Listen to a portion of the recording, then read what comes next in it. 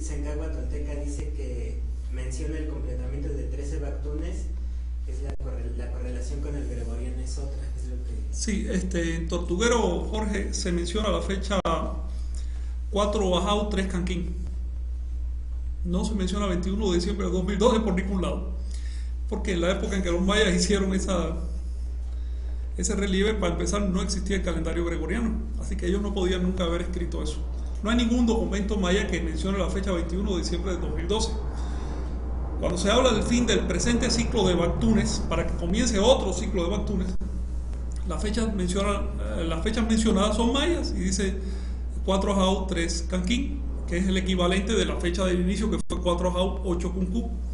Pues bien, eh, ¿cómo se traduce esto al calendario gregoriano? Ya es cuestión de cada investigador. A principios del siglo XX se hablaba de 24 de diciembre de 2012. Después Argüelles lo bajó al 21 para que coincidiera con el solsticio. Y eso es lo que se ha divulgado. Eso son tonterías Ah, ha llovido un siglo entero, desde entonces ha habido mucho descubrimiento arqueológico y demás, y las fechas se han rectificado. En este momento hay 160 correlaciones diferentes del fin de los 13 Bactunes. Algunas piensan que, algunas investigaciones dicen que ya se acabó hace como dos siglos, otras investigaciones dicen que se acabó en el 2004, otras que se acabará hacia el 2013, el 2020 y pico, 40, incluso en el 2100. En otras palabras, los investigadores no se han puesto de acuerdo, no hay una fecha fija. Los únicos que tienen una fecha fija son los periódicos y uno tiene que escoger si quiere cultura de periódico o cultura de investigación, cultura científica. Eh, ¿Qué pasa con el 2012? Tú sabes que el 2012 está arriba y es muy emocionante tener un Armagedón ahí a las puertas porque eso hace que uno se electrice. Tenemos una vida tan inerte y tan estúpida, eh, por lo general, que necesitamos shows de ese calibre, como la destrucción del mundo, cosas así, para sensibilizarnos un poquito. Necesitamos una película donde se vea que un continente entero se mete en el agua, entonces salimos con un cierto tono energético, ¿ves? También podemos aprender a ser sutiles y a ser este, honestos frente al fenómeno de la cultura. Si tú hablas, si tú piensas, si usas ropa, si usas casa, si usas el fuego, tú eres deudor de la cultura y lo menos que puedes hacer es ser honesto frente a la cultura. Entonces, yo les sugiero a los que me están oyendo, no, repiten, no repitan lo que no han verificado, verifiquen, no tiene ningún problema verificar. Eso estamos haciendo aquí en esta escuela, estamos tratando de verificar las cosas. Si nosotros les decimos que la fecha de 2012 no funciona, es porque ya hemos verificado que no funciona. Si nosotros no les hablamos de otra fecha, es porque todavía está en investigación. Sí, también algo que ha sonado mucho es ese citado alineamiento con la galaxia. Este, eh, pues también es algo que, eh, pues... La, pregunta de un periodista me decía exactamente eso, se va a alinear y digo, bueno, pues tendríamos que ver, uno, cuál es la medida exacta del centro de la galaxia y luego... O del canto de la galaxia. el comparativo de la dimensión del planeta Tierra con respecto a la galaxia y que en una determinada fecha pasara exactamente ese puntito de polvo en el centro de la galaxia y que además ya tuviéramos la tecnología para detectar que exactamente está pasando en determinado punto en la galaxia. ¿Cómo ves, Frank?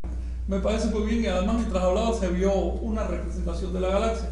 Imagínate que nos preguntamos, a ver, mira esta motita de polvo, ¿cómo se alinea con los granos de arena de la playa? hablando? No sé, no tiene nada que ver. El sistema solar es una motita de polvo en comparación. La galaxia hay 500 mil millones de sistemas solares. Ahora, tendríamos que ver algo que se llama la teoría del caos en astrofísica y, en, mecánica cuántica.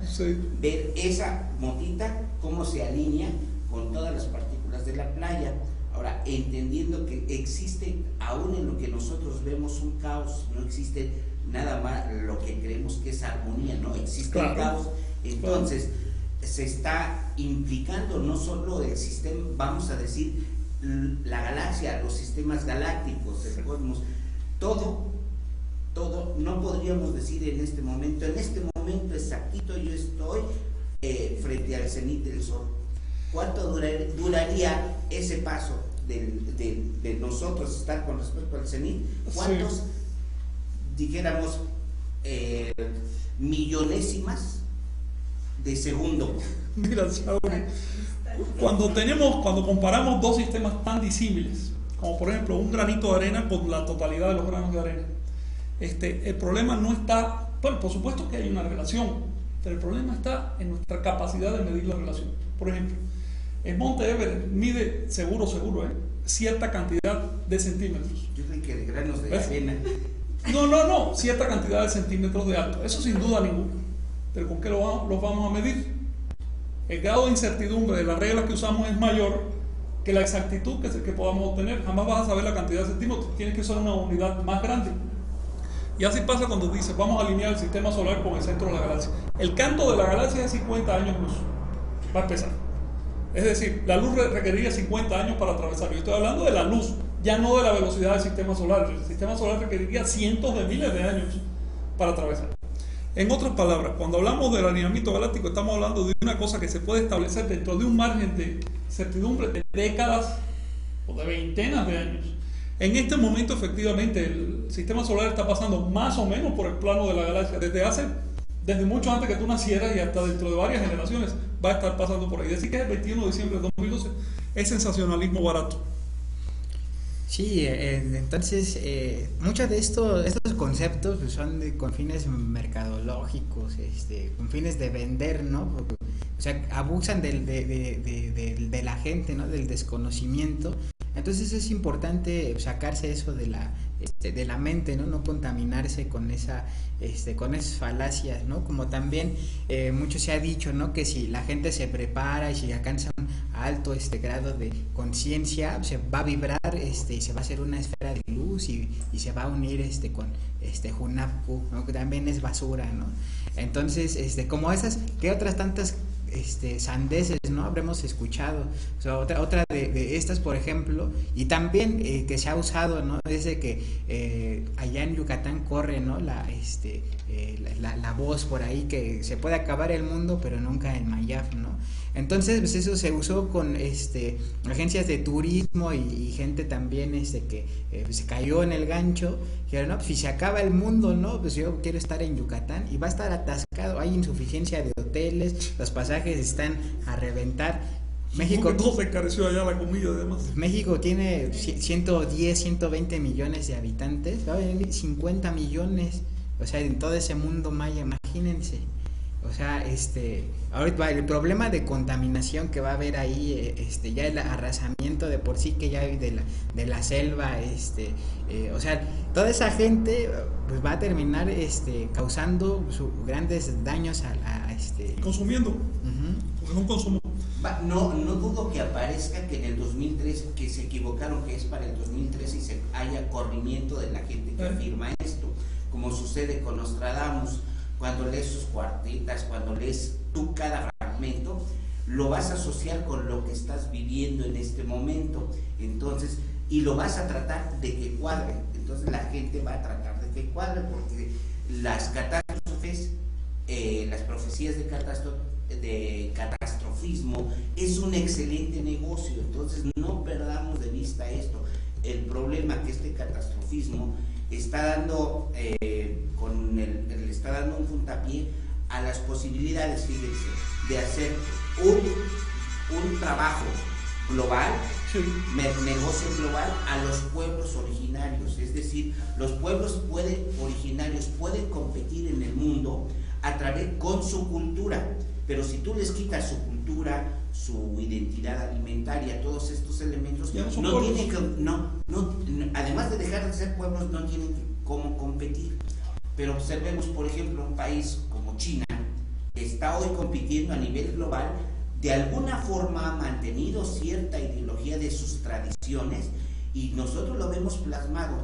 Bien o mal, vemos un país con una cantidad de millones, de millones verdaderamente de una población muy grande, que están avanzando y no solamente esto ha llegado a una economía que hoy le presta dinero a los Estados Unidos. Entonces, pues a mí me gustaría mucho ver al pueblo de México prestándole a los suizos, a los alemanes, a los franceses, porque tenemos una, este, una posibilidad económica amplia. Y esa posibilidad económica, pues no seamos absurdos, veamos lo que, que también nuestra cultura nos puede dar la posibilidad, vuelvo a repetir, de competir en los mercados globales y eso sería un trabajo interesante a, a discutir dentro de la economía y de la sociedad. Sí, creo que si Vicente está de acuerdo, podríamos tomar eso como tema para un debate, un análisis sobre cómo poder, eh, ya no como México, sino incluso como Latinoamérica, Exactamente. cómo poder eh, colocarnos en el mapa de la competencia cada vez más feroz entre las naciones Y de la sin perder identidad. Y competencia cultural. Sí,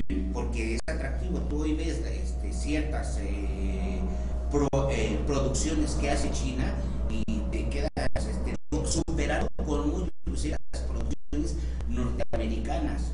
Producciones que son, que en color, que en, elegancia, que en tendencia a lo, digamos, a lo metafísico, a lo mágico, son maravillosos en ese sentido. No digo que, que sea lo- el plus ultra, pero tiene otra posibilidad. ¿Y por qué no yo cuando veo estas, estas este, películas un tanto titánicas, por qué no también nuestra propia historia escrito en esa posibilidad? Pero nadie quiere invertir con los mexicanos. ¿Por qué será? vamos a tocar eh, ese, ese tema y ese da para varios programas incluso, porque tiene varios aspectos. Y sí me gusta la idea de tocar precedentes como son Japón, China y países que no han perdido su identidad, pero sí han logrado eh, entrar al futuro. Eso es todo. Si se sobrevive o no se sobrevive. Y yo creo que tenemos tanto derecho como China, como Japón, para entrar, ahora sí, por la puerta dimensional. Así es. Por la cuarta dimensión, la verdadera. Oye, este, fíjate que me gustaría tocar un tema que mencionaste, y es de que ya hay grupos eh, que empiezan a cambiar la fecha del 2012. Esto refleja el tremendo oportunismo de estos grupos que hablan de fin de calendario. Eh, algunos ya transfirieron a 2013 la, la situación para tener un año más de negocio de catastrofismo. Eh, Drúmbalo, Drúmbalo, el Melquisedec ya dijo que no, que es en el 2015. Y Comando Astar dijo que Dios en persona bajó y las gestiones del comando Se se lo, llama el rubio Ashtar.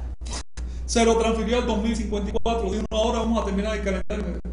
Bueno, en otras palabras, eh, estamos hablando no solo de ignorancia, sino de un oportunismo muy bien dirigido, muy precisamente dirigido. Estas personas se han dado cuenta de que hay una víctima y van a encargar bien, van a usar hasta que quede un trapo, hasta que quede un ripio. Este, que si en ese proceso se acaba lo último que queda del pueblo maya, no importa. Me conmueve también que se hayan eh, sumado los gobiernos, no solo de México, sino también de Centroamérica y Cuba, a este fenómeno. ¿Te imaginas a Fidel Castro hablando del fin del calendario maya? Un viejo que no supo gobernar con todos los po- poderes que tuvo. O al presidente de, de Honduras dando una explicación sobre el calendario maya. Un señor que probablemente en su cabrona vida ha tenido el menor interés de, eh, sobre los mayas. O a la cierta señora gobernadora de cierto estado maya haciéndose una campaña triunfal sobre el 2012. Sí, hasta la primer ministra de Australia eh, Sí. también este, habló al respecto y en un tono muy eh, deplorable, ¿no? O sea, así triste que, que bromeando lo que sea, esa es una irresponsabilidad y ya menos tendría que ofrecer una disculpa este, a los mayas por esa actitud impertinente.